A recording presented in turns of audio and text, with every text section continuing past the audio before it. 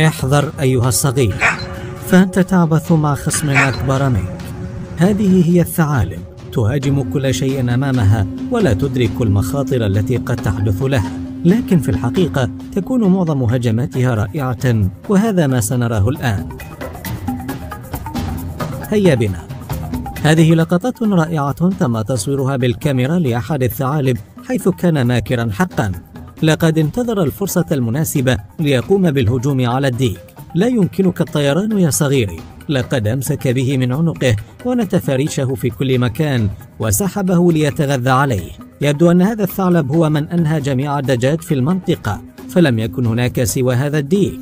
بكل الأحوال نتمنى له وجبة شهية. هذه اللقطات المدهشة تبين لنا قوة الثعالب الحقيقية. لم تتهاون الثعالب في أرضها. فلقد كان غرير العسل قد دخل المنطقة التي يسكنون بها بل بالتحديد قرب منازلهم وهذا ما سبب غضب الثعالب. قاموا بالهجوم عليه بلا رحمة لحسن حظه أنه تمكن من الهروب فورا. يبدو أنه كان يعرف أنه مخطئا في هذا القرار. هنا كان الثعلب يتجول في منطقة ممتازة لاصطياد الفرائس وهي طيور البحر. هذه الأنواع من الطيور هي الوجبة الأفضل للثعالب خصوصا أن حجمها ضعيف. ولهذا يتمكن من الإمساك بها بكل احترافية وسهولة. أرأيتم؟ لقد كانت هجمة مذهلة والآن يذهب لاصطياد طيور أخرى ثم يبدأ بأكلها جميعا مرة واحدة. انظروا إلى هذا السنجاب المسكين إنه لا يعرف الخطر الذي حوله.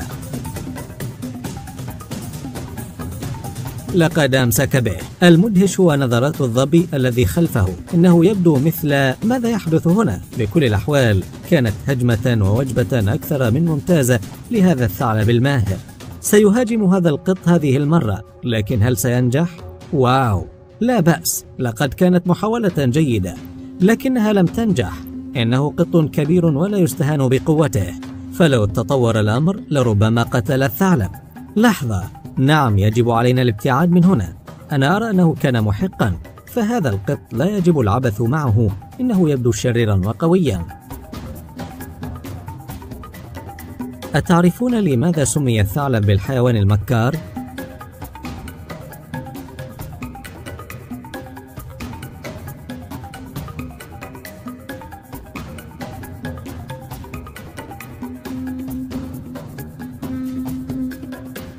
انظروا إلى هذه اللقطة وستفهمون إنه لا يكتفي يريد أخذ كل شيء. في الحقيقة أنا حزين جدا للأم التي تركت صيصانها بهذا المكان. لقد حملهم جميعا لكنه فشل في اصطحابهم جميعا. فلا يمكن للأم أن تتخلى عن صغارها بسهولة. لقد لاحظته قرب صغارها ودافعت عنهم باستماتة. وعلى الجانب الآخر تمكن الثعلب من أخذ واحد منهم فقط. إنه مشهد محزن للأم. لكن على الأقل أفضل من أن يأخذ جميع صيصانها. هذه لقطة نادرة تم تصويرها لأحد الثعالب الذي كان جريئا جدا وهاجم عش النسر في الحقيقة لا أدري ماذا كان يدور برأس الثعلب ليهاجم النسر فالنسور دائما ما تقتل الثعالب وهي من فرائسها. وفي الحقيقة تهرب الثعالب بمجرد اقتراب النسر منها لكن هذا الثعلب كان شجاعا جدا وحاول الهجوم على العش لعدة مرات. لكن بطبيعة الحال من المستحيل أن نتمكن من الحصول على أي شيء من العش بوجود النسر الكبير. في الحقيقة لو بقي الثعلب لوقت طويل لكان النسر من افترسه وأكله لكن لحسن حظه أنه ابتعد في النهاية. الثعلب مقابل الكلب. هيا بنا نرى إن كان يمكن للثعلب أن يتفوق على قوة الكلاب أم لا.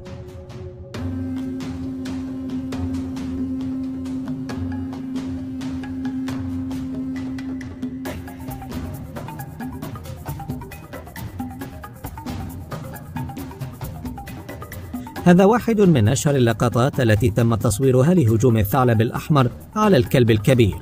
الغريب أن الكلب كان هو من يبتعد في كل مرة بالرغم من أن حجمه أكبر ويمكنه القضاء على الثعلب. لكن الثعلب مصر على افتراس الكلب إنه أمر لا يصدق بالفعل. فكلب بهذا الحجم أمام هذا الثعلب ليس بالمعركة العادلة أبدا لكن يبقى الثعلب شجاعا حقا فلم يتخلى عن المعركة أبدا. في الحقيقة أتمنى أن أعرف ماذا سيحدث بعدها لكن لم يتم تصوير اللقطات كاملة ما رأيكم أنتم؟ ماذا سيحدث لو استمر الذئب في الهجوم على الكلب؟ إنه مرة أخرى يهاجم كلبا آخر ويبدو أنه كلب قوي أيضا لكن يستمر الثعلب بمفاجأتنا بشجاعته المذهلة لقد حاول الكلب أن يكون شجاعا لكن هذا لم ينجح وعاود الهروب أنا أرى كأنهم يلعبون فلا يمكن أن يكون هناك معركة على هذا الشكل لكن يمكننا أن نخمن ماذا حدث بالمقطع السابق.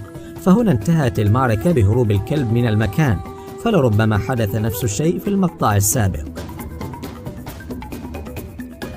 هنا هرب الثعلب والمفاجأة أن المواجهة كانت مع كلب صغير. هذا ما يستحقه الثعلب. كلب صغير تكون المعركة عادلة. لقد فاز الكلب في المبارزة. اهرب اهرب. لقد أعجبتني شجاعة هذا الكلب حقا. فقط السناجب هي لعبة الثعالب.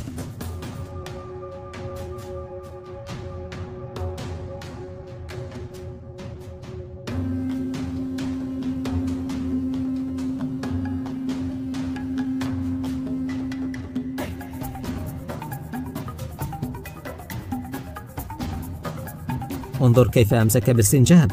هنا يرينا أن الثعلب أسرع من السنجاب بالرغم من أن السنجاب أصغر. فقد كان الثعلب أسرع وأمسك به.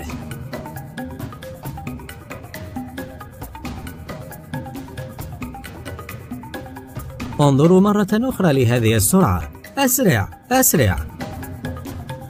يحاول السنجاب الاختباء بين الصخور لكن انتهت المعركة. أصبح في فم الثعلب الآن. هذه لقطات مدهشة تم تصويرها للثعلب وقد انتهى مؤخرا من اصطياد أرنب يبدو أنه سعيد جدا بهذه الوجبة الجديدة ويريد أخذها إلى المنزل بأسرع وقت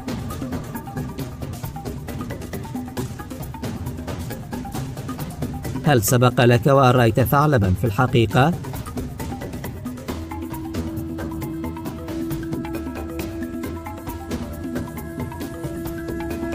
اكتب لنا تجربتك في التعليقات ولا تنسى أن تعطي الفيديو إعجابا ولا تنسى أيضا الاشتراك في القناة وتفعيل زر التنبيهات حتى تتوصل بكل ما هو جديد يوميا.